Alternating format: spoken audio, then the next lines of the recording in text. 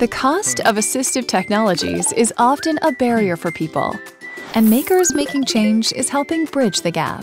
If you're looking for a solution, you can browse through a variety of open source devices like bottle openers, switches, adapted toys, and the LipSync Sip and Puff mouse.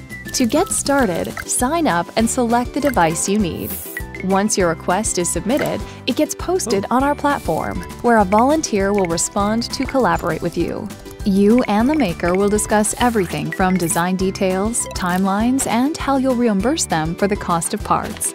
Once the device is ready, you'll reimburse the maker and agree on device delivery. You can leave a review to help support the community, which could even lead to new designs.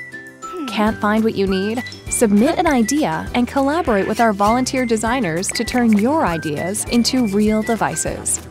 Learn more and join the movement today at makersmakingchange.com.